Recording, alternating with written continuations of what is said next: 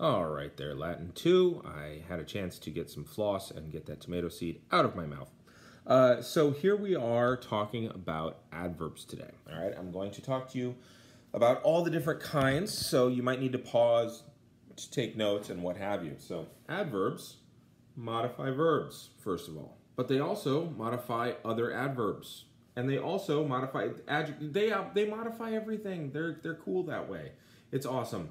Um, so they do that. Uh, they exist in the positive, the comparative, and the superlative. So not only can you have someone run far, you can have someone run farther, you can have somebody run very far. So let's talk about the positives.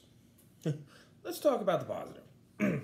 so a positive adverb, you take an adjective and you knock off the ending and you add on a so longus aum turns to longe. You might remember strenu usaum went to strenue. But sometimes you've got a third. So brevis ise turns to breviter.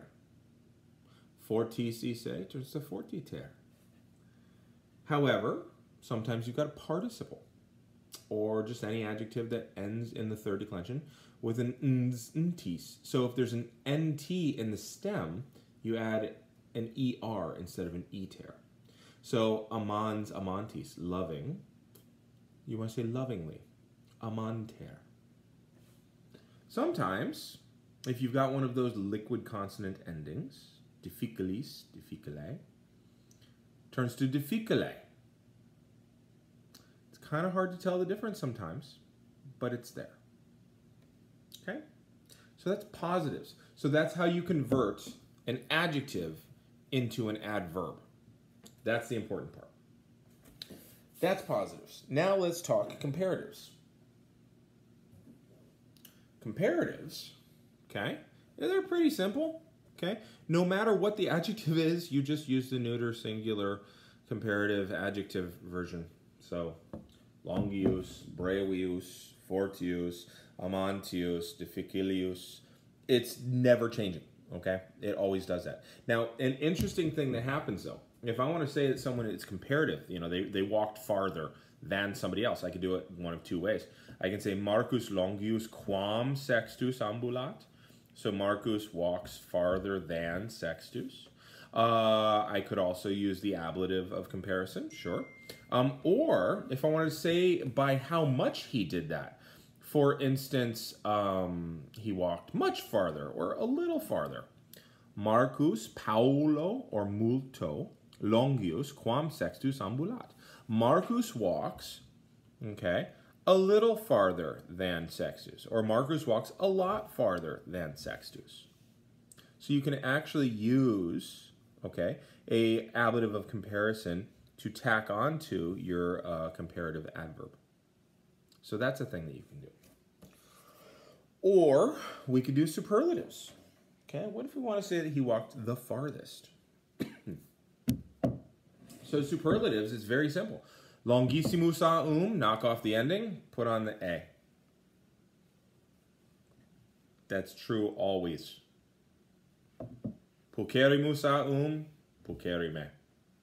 Facillimus aum, facillime.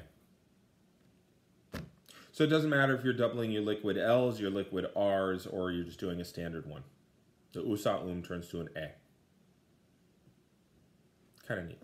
Now, there are a couple grammatical things you can do with superlatives. So, if I wanted to say that you did something as far as possible, you walked as far as possible, quam longissime. Quam plus the superlative adverb means as much of that thing as possible. The next one, longissime omnium okay? Uh, I just forgot the macron there, don't worry.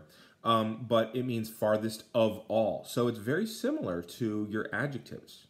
Okay, so longissime omnium. He walked farthest of all. Okay, that's how it works. So hopefully you've paused each of those as you've needed to. Uh, what I want you to do now is go to page 74 and 75 and read them. Then I want you to copy the chart on page 75. I want you to copy this chart right here of irregulars. Okay, all of this. But also you might want to copy this down. Okay. Um, okay, so now that you've copied down the chart on 74 and 75, I want you to do 35G.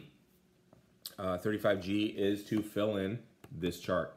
Write the whole thing out, okay? It's going to be six spaces long, I believe, at all times. Yep, six spaces long, and I forget how many far down.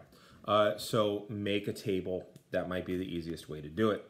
Uh, when you're done with 35G, go ahead, and by the way, they're all given in the nominative masculine singular. So give them all uh, in the nominative masculine singular. Uh, and then when you're done with that, do 35D, as in canis. Okay, so uh, hic servus est ignavissimus omnium, nullum servum ignaviorem habet Cornelius. Just translate it. So this slave is the laziest of all. Uh, Cornelius has no lazier slave. So it's kind of a, a regression back into the um, the adjectives. Okay. Uh, so yeah, do 35G and 35D. All right. I'm gonna hit the button.